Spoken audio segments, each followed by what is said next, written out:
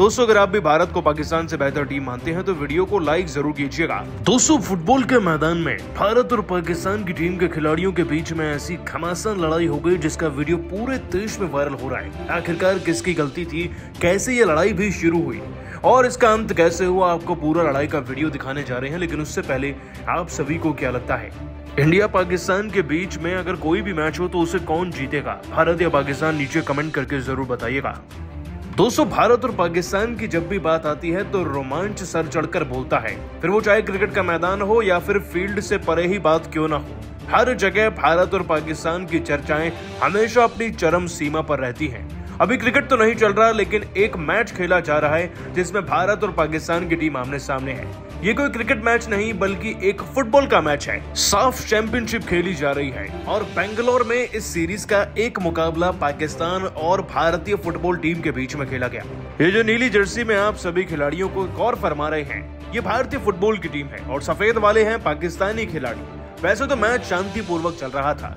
और हमारे स्टार यानी कि सुनील छेत्री इस मैच में भी दो गोल लगा चुके थे। वो टीम को लीड कर रहे थे और बड़े शानदार तरीके से टीम को जिताते हुए आगे चल रहे थे। फ्रस्ट्रेशन से भरी पाकिस्तान की टीम की नज़र केवल खड़ी की ओर थी। वो जानते थे कि एक गोल और आया और वो मैच हार जाएँगे और ऐसा तो होना ही था। खैर, मैच कौन जीता, हारा आपको बाद में बताएँगे।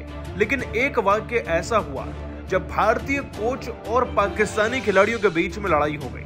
हमारे हेड कोच है दोस्तों इगोर स्टिमैक जिन्होंने प्रोटेस्ट करना शुरू कर दिया अब्दुल्ला नाम के खिलाड़ी के अगेंस्ट जो कि थ्रो इन करना चाह रहे थे। जिसके बाद वो डिफेंडर के पास भी जाते हैं और बॉल को किक भी कर देते हैं। अब एक और की यही बात अब्दुल्ला नाम के खिलाड़ी को पसंद नहीं आती। वो लगातार आर्ग्यू करते रहते हैं और इधर से हमारे हेड कोच भी लड़ाई जारी रखते हैं। पाकिस्तान के कोच भी आ जाते हैं, बीच में लड़ाई इतनी बढ़ जाती है कि एक वक्त पर खिलाड़ी भी आपस से भिड़ते हुए नज़र आते हैं। आप तस्वीर देखकर अंदाज़ा लगा सकते हैं। इससे पहले कि माहौल गर्म होता रेफरी ने दोनों हाथ उठाए और एक में रेड कार्ड था तो दूसरे में येलो रेड वाला था हमारे कोच के लिए और दूसरा था पाकिस्तानी कोच के लिए। खैर, खिलाड़ियों को तो अक्सर रेड कार्ड दिखाए जाते हैं, लेकिन कोचेस को भी मिलते हैं आज पता चल गया।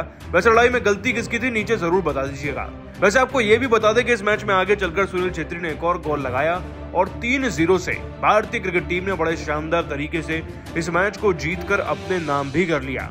पाकिस्तान की टीम हमेशा लड़ने पर ज़्यादा और परफॉर्म करने पर कम ध्यान देती है।